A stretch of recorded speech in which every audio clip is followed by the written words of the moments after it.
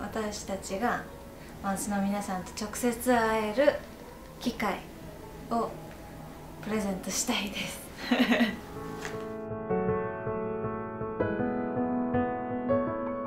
あのダイオンちゃんは昔からあのチェックの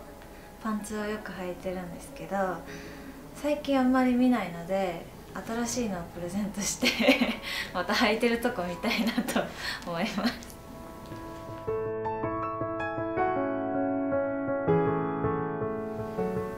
私が韓国に来る時にあの学校のお友達があの手作りでタンブラーを作ってお手紙と一緒にくれたのがすごく記憶に残っています。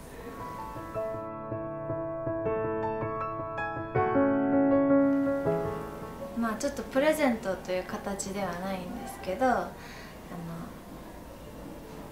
ドーナツ屋さんに行った時にあの店員さんが「ファンです頑張ってください」って言ってドーナツをもう一個くれました。